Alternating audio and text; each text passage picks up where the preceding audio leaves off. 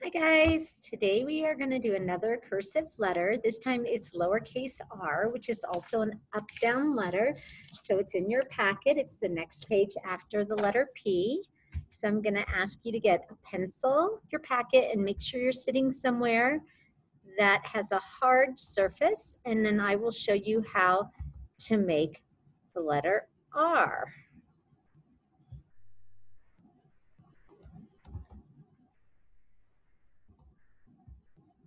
When we look at the R, we're gonna start on the grass line, just like we did with our last few letters.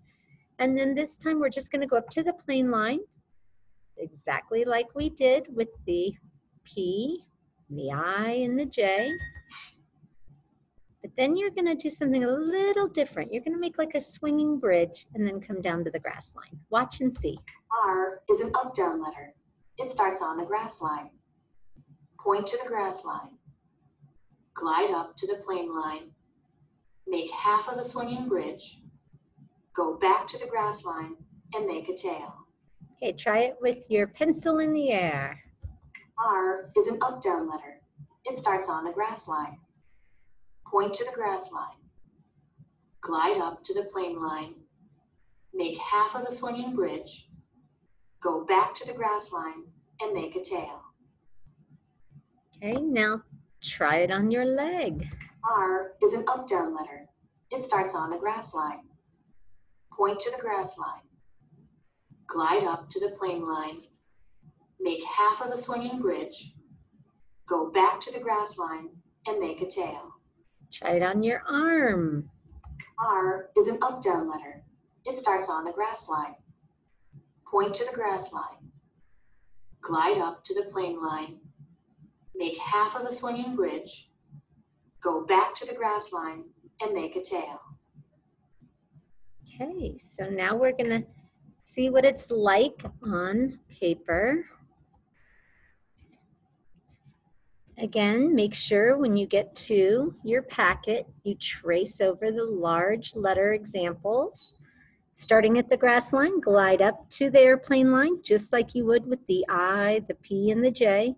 But this time, when you come back down, you're gonna make half of a swinging bridge, so it's kind of small, and then return back down to the grass line into your tail. So notice it doesn't touch that airplane line. It comes down low. Let me show you what I mean. Starting at the grass line, glide up to the plane line. Your swinging bridge kind of aims down to the bottom right corner. Then come down to the grass line and make your tail.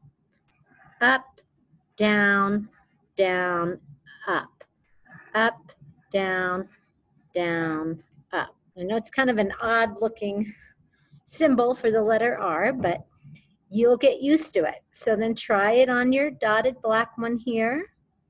And then you're gonna do a little bit smaller, which is more like our typical writing. Mine are also different. So I got one, two, three, four, five, six, seven, about eight. You should be able to do the same and then continue all the way across. When you come down to these three, you don't have one to trace, but you can always go back and trace again. Up, down, down, up, up, down, down, up, up, down, down, up, and so far, forth. So if I were going to write the word roar in cursive, and I would be connecting. I didn't have to pick up my pencil once, but you can see where that tail connects right into the letter O. So that is how you do the cursive letter R. I'm excited to see how you do and enjoy.